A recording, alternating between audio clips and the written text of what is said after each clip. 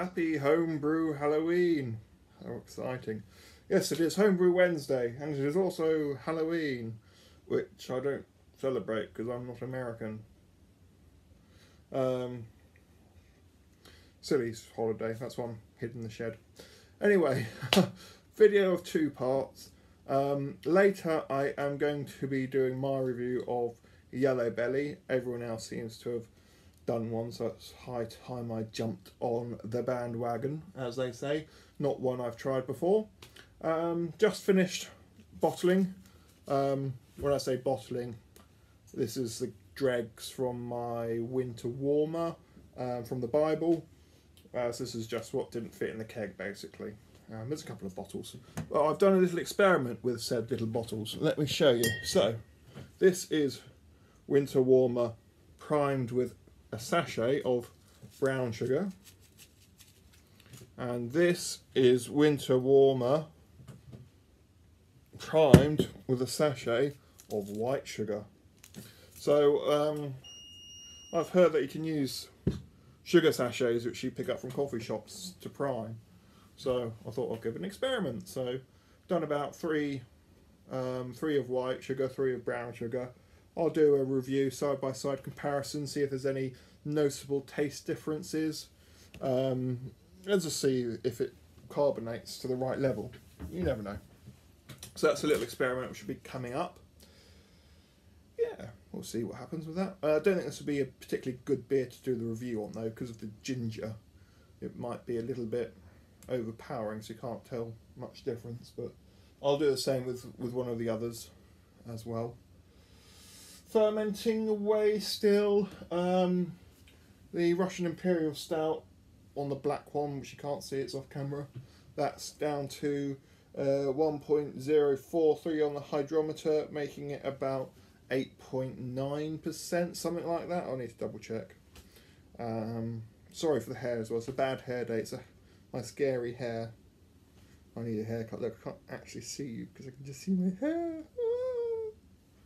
I need a haircut. Anyway, yeah, bad hair day for Halloween. And a clash of colours as well. Right. Um, so yes, Imperial Stout, 8.9%. The mild is probably about uh, five and a half now, I reckon. I need to double check. And the bloody um, porter in the green fermenter, green fermenter, um, there that's about seven point eight or something like that now. That just didn't stop fermenting. It's supposed to be six point five. Oh well. So yes, we're looking good for the Winter Beer Festival. Update on the uh, old bulldog of Brewer. Um, we sort of have it working, but not very well. I've had to take the front off, uh, which leaves the electric exposed. So I've asked, emailed the manufacturer to see if they've got any replacement parts. If they don't, then we'll, we'll go from there. So that's that's that. Um, yes, mm, not sure what I'll be making next. I want to do that mead. I brought two big tubs of honey, so I might do a, a small batch of mead. Um, this is the cranberry and raspberry wheat beer, which has been on keg for about six months now. Yeah, I've got all these kegs, but I barely drink out of them. It's bad. That's tasting cold. Um, it's not bad beer, cranberry raspberry wheat beer. Just get going and going though. That's the problem. Um, yeah, so I think that's about it from the shed. Um, the RO water system is in. I'll show you that. There is the RO water system. I think it's got a slight leak. Don't know how to use it yet. Um, but since I can't brew anyway because of the uh, issues I've been having, we'll just leave it there for now. And then I'll work out a later date what I need to do. So on to the review part of this Halloween special. So yes, Yellow Belly. A lot of people have had it before. Now it's my turn. Comes wrapped up in paper. Imperial Stout, brewed with aromas of peanut and biscuit. 11%. How naughty. Um, brewed by Omnipollo and Buxton Brewery at Buxton, Derbyshire. Buxton, I've been to Buxton and Bakewell. Right, so let's ouvre it up. Five. Hmm. Very interesting. Looks like a sheet of A4. There's some little holes in your kennel. Can you see me? Honestly, I haven't had a drink yet. So,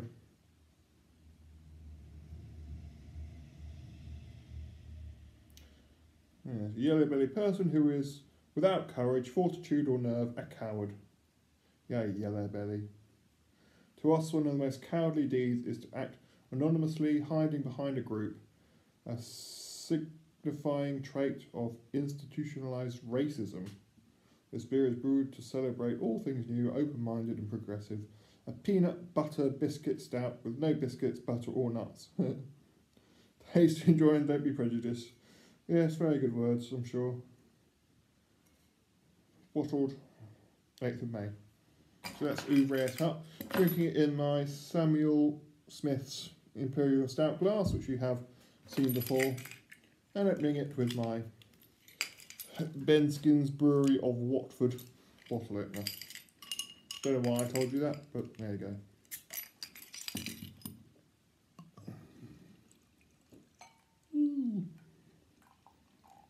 Looks fairly thick. I don't know if this can hold a full 330 milliliter. Oh, it can, just about. Really? Oh, it can. That's exciting. It can hold a full 330 milliliter. Oh, that smells good. That does smell very good. It is bottle conditioned. I can confirm. Oh, it smells lovely, actually. That does smell very good. It smells like. It smells really sweet. It's on my, on my nose. What is it with me and dipping my nose in?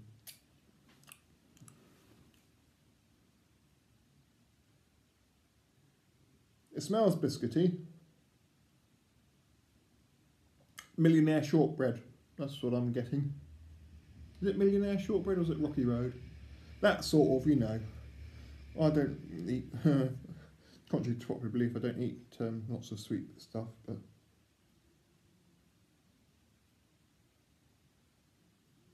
lovely sweet aroma to it.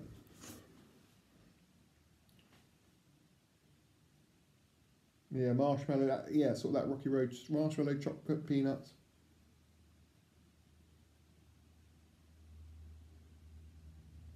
Yeah, that sort of thing. Anyway, let's dive in for a drink because it's a drinking drink, not a smelling drink. Although it does smell very nice.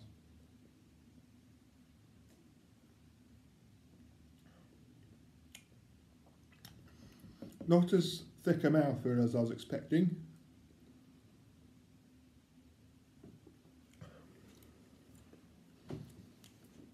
Um, the, the, the, the nose, the sort of that really sort of sweet, lactosey, chocolate, marshmallowy, peanutty taste comes through into the beer. Um, initially, it's quite smooth, then you get a sort of whack of alcohol at the uh, at the arse end of the, the sip. I thought it'd be a little bit bigger on the mouthfeel, but it's not.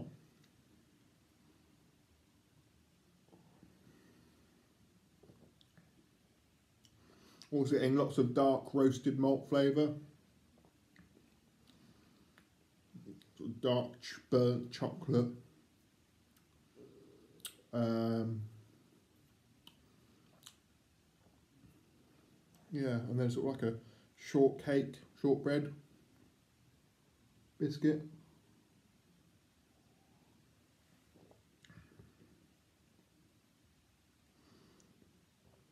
There is a peanutty sort of taste in the background, but it's quite faint. It's not a very obvious taste. You do have to sort of go searching for it.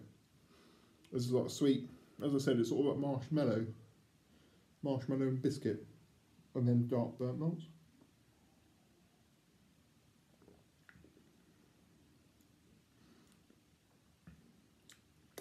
It's very sweet in the fore, bit of bitter malt alcohol at the arse end of it, as I said. Yeah, it's nice. It's good beer. Can't remember what I paid for it, probably too much, but you know, I'm, I'm glad I tried it.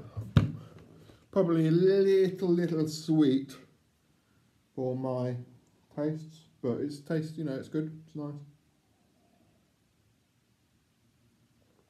You wouldn't want more than one. Without 11%, that's probably a good thing. yeah, it's a nice beer. I'd recommend you try it at least once. Um, I'd buy it again if I was so inclined to do so. So you know, it's a very it's a tasty tasty dark beer. So lots of roasted malt, lots of sweetness. It's um fairly smooth for an eleven percent beer. Yes, there is a an alcohol hit at the back, but it's not. I've had much stronger hits from less alcoholic beers, so um, you know, considering it's eleven percent, it's fairly smooth. My hair's a little bit better now as well. Gone for a centre parting because it's Halloween and centre partings are weird and crazy and scary. So that's the end of the beer review. What else has been happening? Uh, I'll say you saw what's happening in the shed. Brought um, a one of those glasses because I thought that glass looked lovely. I just realised it's an Oktoberfest glass, but I really liked it. The sort of the patterns. I've not got and and Union. That's it. Oktoberfest glass, but I just like this lovely sort of patterns of the letters. But it was very nice little glass, nice shape as well. My friend bought it, um, Chris, who was here for my hot picking party, and um, I just had to have one. And I'm seeing it was on, it was on offer at Beerhawk. We also got two beers of theirs, the lager and the vice. So, not that I'm too worried about them. Brewing wise, going to be doing the mead next, as I said. Um, that needs to be done because I've got the honey for it, so I need to actually get around to brewing it. Mead next.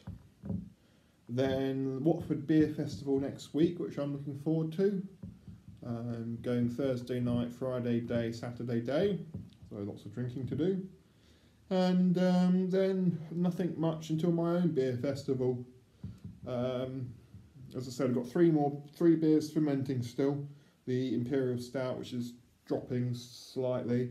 The um, Palpatine Porter, the um, Frankenstein version of Founders uh, Porter clone thing. That just keeps fermenting. And the uh, Ruby Mild from the Bible, which is um, still fermenting. So, yeah, the, the beers which are still fermenting are still fermenting. Um, The Imperial Stout and the Porter will go on keg, um, probably, and the Ruby Miles going on cask. Um, I've brought a, a, metal pin, so I need to work out how to put that together. I might do a little video on that actually. Um, casking your own beers from homebrew level. Only really worth doing if you've got a beer festival, I reckon, because you've got to drink them in three or four days. So, um, like, you know, that's four and a half gallons, and which is what uh, 8 pints to a gallon, isn't it? Uh, so it's 8, 16, 24, 32, 36 or 37, 38 pints thereabouts. That's quite a lot of beer to drink. Um, so yeah, only really worth doing for the beer festival. What I'll do with that mild is I'll um, get it ready for the Friday night, and my friends are coming over to help me set up for the um, Dark Side Beer Festival. You can have a couple and then hopefully finish it off on the Saturday. So, yeah, all good. Right, that's enough. Happy Halloween if you celebrate that sort of thing. If not, it's All Saints' Day tomorrow, so hooray. Um, November already. Well, nearly. Will be. Where has the year gone? It's just disappeared. Quite scary, actually. Anyway. Right, happy Homebrew Wednesday and au revoir and see you again soon.